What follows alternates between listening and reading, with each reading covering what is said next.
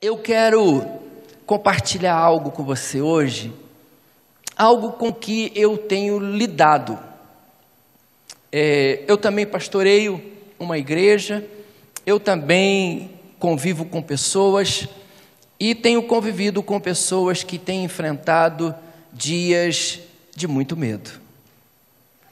Pessoas que, por causa de medo, por causa de muita agitação, como foi falado hoje pelo pastor Wagner, vida muito agitada, muita ansiedade, as pessoas estão adquirindo síndromes. Síndrome de pânico, algumas entram no processo depressivo e estão amedrontadas, assoladas. E eu queria, quem sabe, poder ajudar você diante de um texto lindíssimo, um texto que fala muito ao meu coração. Eu gostaria que você abrisse a sua Bíblia comigo no Evangelho de João, capítulo 20, 19 a 22, já que hoje é o dia do amigo, aqui desta igreja, vocês trouxeram os seus amigos, então eu vou aqui falar um pouco de um amigo, de alguém que nos trata como amigo e nos livra de todo medo. João capítulo 20, os versos 19 até o verso 22. Eu não sei que versão, talvez eu esteja com a NVI aqui. Eu vou ler para você.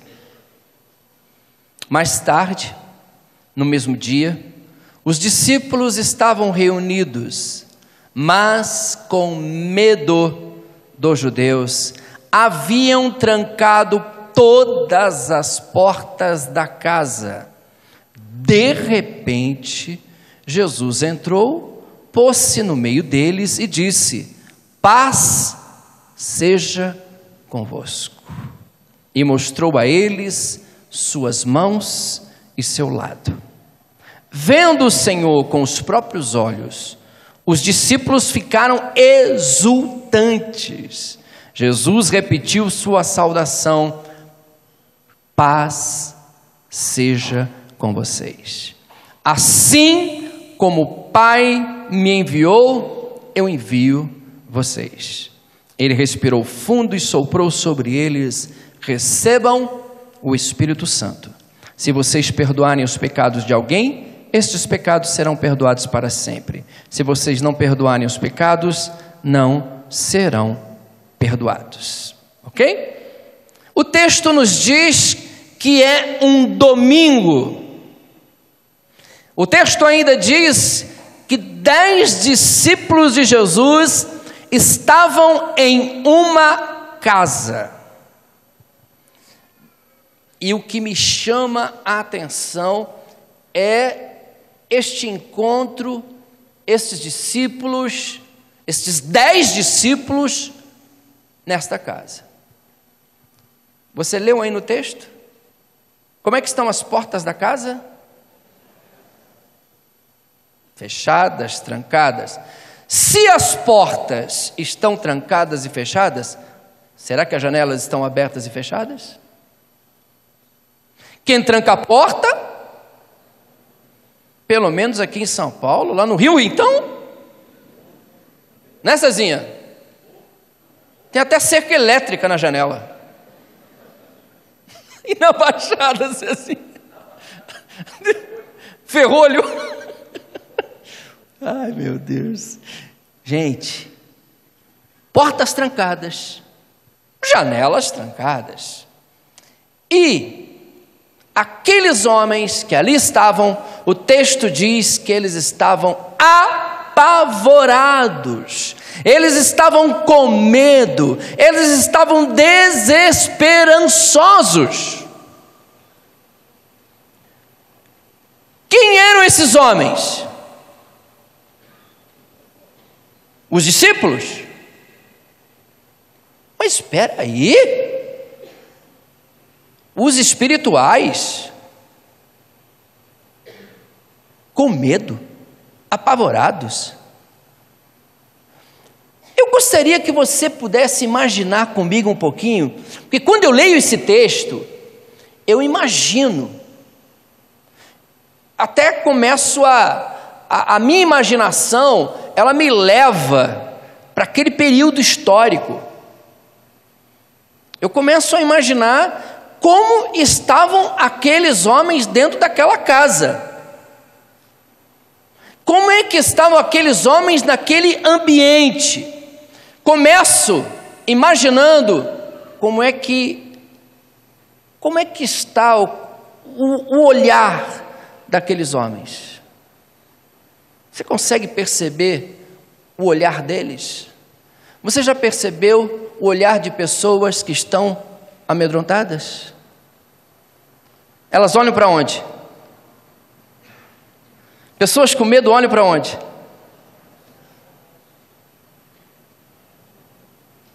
Elas não conseguem olhar para frente. Elas não conseguem imaginar que possa ter algo bom. Elas olham para. Primeira coisa que a minha imaginação me leva naquele ambiente é o olhar destes homens. Talvez alguns estejam com o olhar perdido. Por causa do medo, o olhar se perde também. O brilho se esvai. Porque eles estão acometidos de alguma coisa que mexe com eles.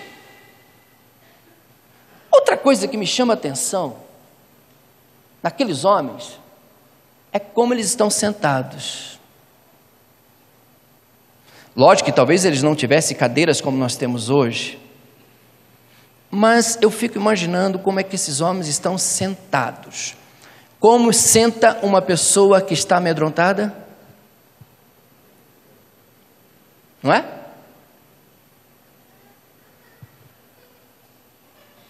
Olha, os mais medrosos talvez encontraram algum lugar para se esconder. Os mais amedrontados, talvez tentar encontrar uma dispensa, algum lugar para que não encontrassem eles. Quem sabe até debaixo da cama. Fora a questão do olhar e a maneira como eles estão sentados. Outra coisa que aí é para mim, eu diria para você, porque aí eu me olho, a parte mais complicada. O que passa pela cabeça deles. O que é que aqueles homens estão pensando? Você consegue imaginar? Porque quando você está com medo, os piores pensamentos surgem. É ou não é? Estou falando para você. Para você que enfrenta o dia a dia. Quais são os piores pensamentos que vêm? quando você está enfrentando uma situação difícil, você está amedrontado, os pensamentos mais nocivos, os mais negativos, eles começam a surgir e a turbinar a nossa cabeça. Aqueles homens, na concepção deles, haviam perdido o mestre. Talvez eles estivessem pensando: vão nos achar e também nos crucificarão nós, por, por termos andado com Ele, nós também iremos para a cruz. Que tipo de pensamento aqueles homens tiveram? Talvez de tristeza, de não saber como vai ser o futuro, e agora? O que nós vamos fazer? Traz para si, o que é que eu vou fazer? Três anos, dois anos da minha vida eu estive com Ele, e agora? O que eu vou fazer da minha vida? Eu vou voltar para a pesca?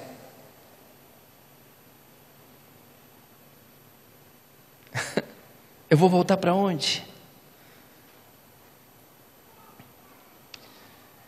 Talvez alguns até tivessem com uma atitude mais reflexiva,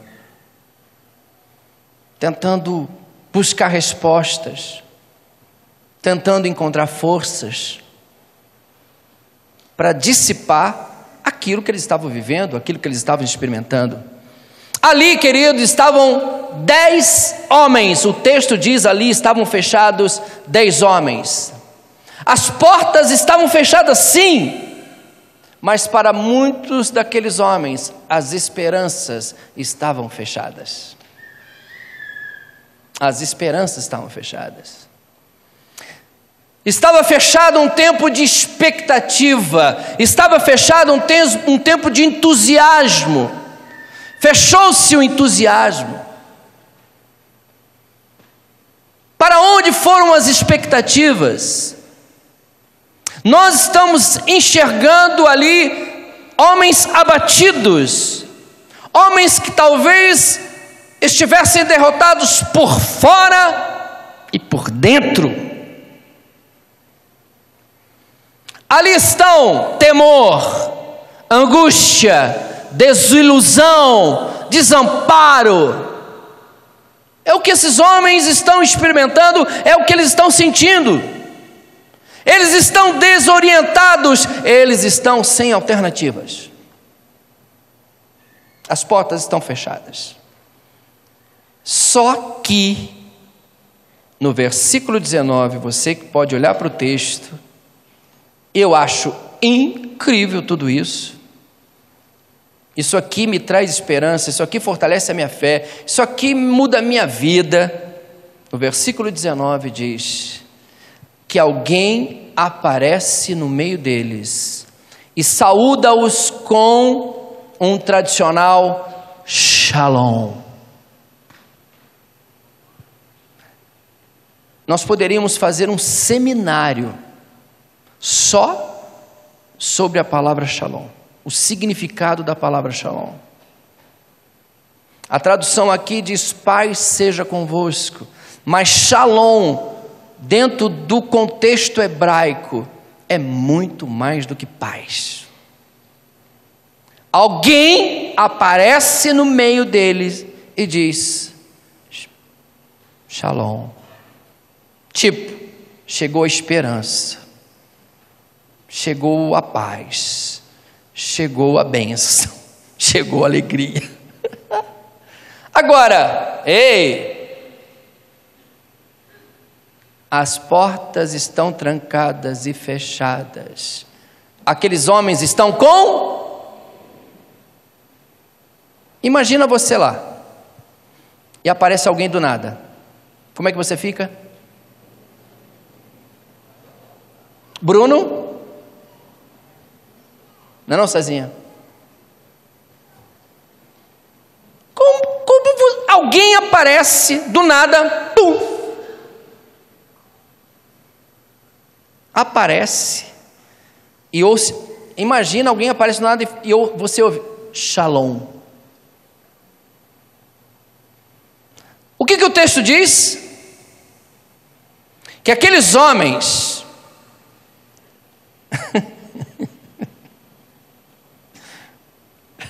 eles ficam como assombrados. Deixa eu melhorar essa palavra para você. Eles ficam paralisados. Posso melhorar? Eles ficam petrificados. Eu ficaria. Eu me conheço.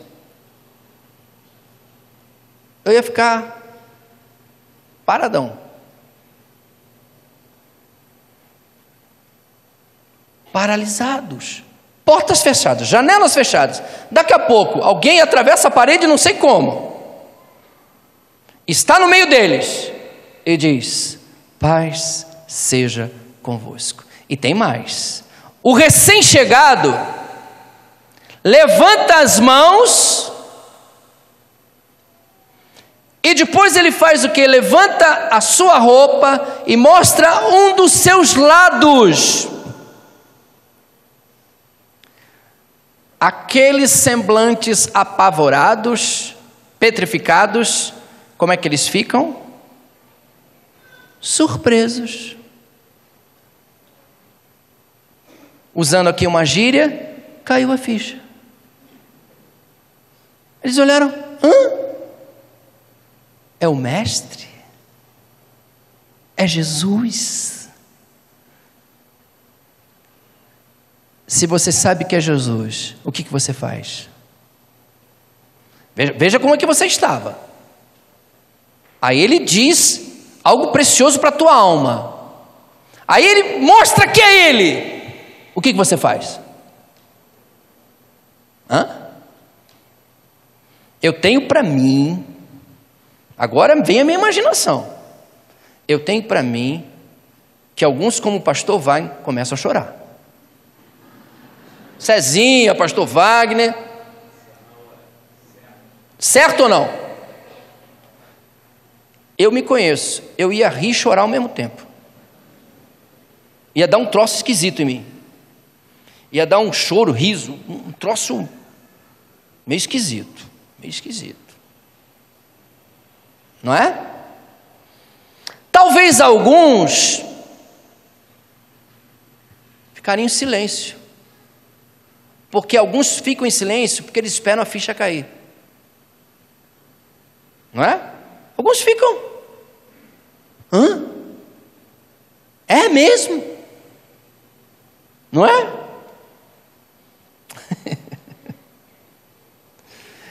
e algo precioso acontece novamente no texto.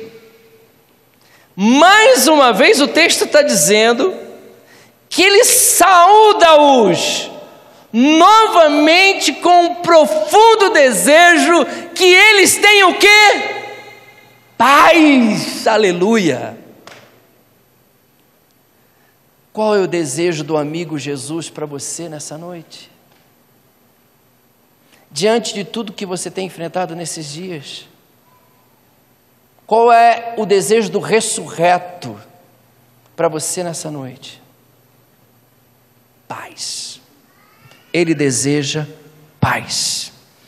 Aquele lugar que até então era o lugar do medo, era o ambiente do pavor, era o ambiente da inquietação, era o ambiente das, das perguntas sem respostas.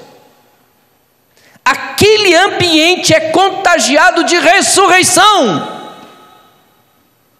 Aquele ambiente é contagiado de alegria e de vida. Aonde alguém está dizendo para eles: viva a vida e viva a vida para sempre. Não é? Gente, só que aí, nesse texto, tem algo que me, me maravilha. Mais do que eu já falei para vocês. Isso aqui já, já dá, não dá? Já não. Agora, o que me chama a atenção nesse texto é o verso 21. Aí é Jesus. Aí aí é realmente a ação do amigo, a ação de alguém que acredita na gente, a ação de alguém que fala eu sei que você pode. Olha aqui no versículo 21 o que Jesus diz para aqueles homens. Como o Pai me enviou, eu vos envio. Como assim? Como assim? Minha, eu faço essa pergunta. Olhe para mim. Gente, eu sou um líder. Eu trabalho com pessoas. Eu me pergunto, eu enviaria pessoas que estavam apavoradas, amedrontadas, eu enviaria para uma missão? Você enviaria? Alguém que talvez há poucos minutos estavam imaginando o pior, talvez desacreditando de tudo, vocês enviariam por uma missão? Enviar esse, desculpe o termo que eu vou usar, mas enviar esses medrosos que estavam com as portas fechadas, gente que talvez sem estrutura, enviar para uma missão? Como assim? Quem sabe eles disseram um mundo de besteiras. Ei, alguns deixaram Jesus na mão. Quando ele estava na cruz, quem tinha que estar lá com ele? Hã? Quem é que estava com Jesus quando ele estava na cruz? Vocês se lembram? Aqui eu tenho que dar palmas para quem? Ah, vocês gostam, né? Vocês gostam, né? Queridas. Quem eram as corajosas que estavam lá? As mulheres.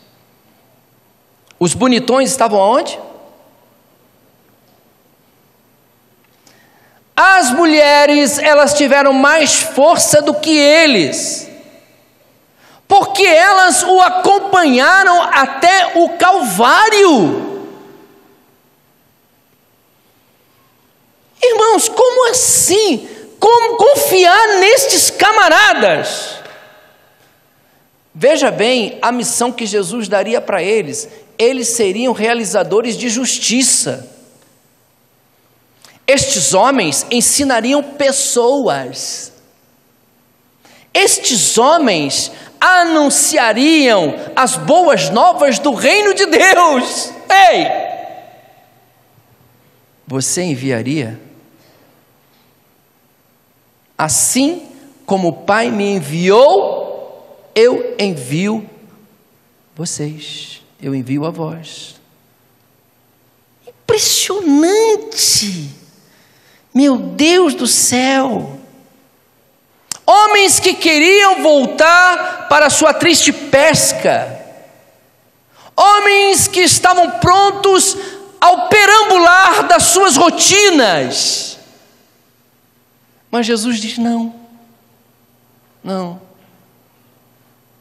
eu tenho uma missão para vocês. Vocês anunciarão o meu nome vocês levarão a minha mensagem, vocês andarão, vocês proclamarão e vocês levarão a paz que eu desejo a todos. E aí nos versículos 22,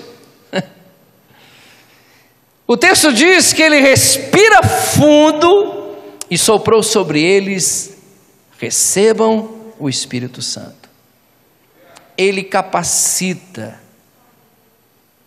ele dá um poder. O ressuscitado os impulsionará, aonde nada os deterá.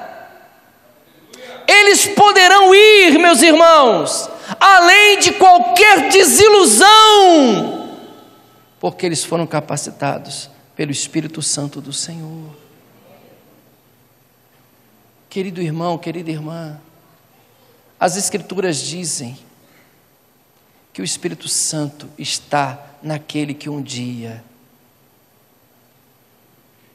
recebeu, disse Jesus: Vem, seja Senhor da minha vida. Quando Ele é Senhor da nossa vida, o Espírito Santo age em nós, Ele nos capacita, Ele nos ajuda eles receberam o poder e o espírito do ressuscitado. Aqueles homens estavam prontos. A presença de Jesus, as palavras de Jesus mudaram o cenário. Mudaram a situação, ou mudou a situação. Aqueles homens, e nós temos a história, que diz o que eles fizeram. Por Jesus, eles morreram. Por Jesus, foram para outros cantos. Por Jesus, eles acolheram, eles ensinaram, eles abençoaram. E Jesus, querido, está aqui nessa noite para trazer a você paz e Ele está aqui nessa noite, dizendo: Eu tenho uma missão para você. Mas antes, eu quero te ajudar, te acolher no teu medo, no teu assombro. Talvez essa noite você seja uma das pessoas que precisa ouvir, ouvir na sua alma o shalom de Jesus. Quem sabe nessa noite o shalom de Jesus ressoará dentro de você. para te livrar e para mostrar a você o caminho lindo, maravilhoso que Ele tem para a sua vida. Não é verdade?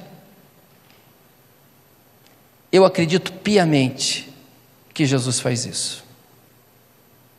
Eu acredito. Porque eu tenho visto o quanto que ele tem alcançado pessoas, o quanto que ele tem sido tão bom, tão gentil, tão fascinante, principalmente com aqueles que estão amedrontados, com aqueles que tiveram perdas, porque ele lidou com pessoas assim. Eu quero ressaltar que estes homens eram homens que ele amava profundamente. O pastor Wagner citou um desses homens, que foi João, o discípulo amado. Então eram homens que Jesus amava profundamente. Eu quero dizer a você nessa noite que Jesus ama você profundamente. E ele está vivo. Jesus não é algo utópico. Jesus não é uma mentira. Jesus não é uma ficção. Jesus é real. E Ele está aqui para fazer algo lindo na sua vida, no dia do amigo. Te convidar, porque não existe amigo melhor do que Jesus. Não existe amigo melhor alguém que diz ao amedrontado, ao apavorado: Pai seja contigo, querido. Pai seja contigo. Eu trago paz a você. Deixe Jesus te tocar nessa noite. Deixe Ele mudar as situações. Por mais que você esteja dizendo, mas será mesmo? Creia. Ele vai te ajudar. Que Deus te abençoe. Pastor Wagner.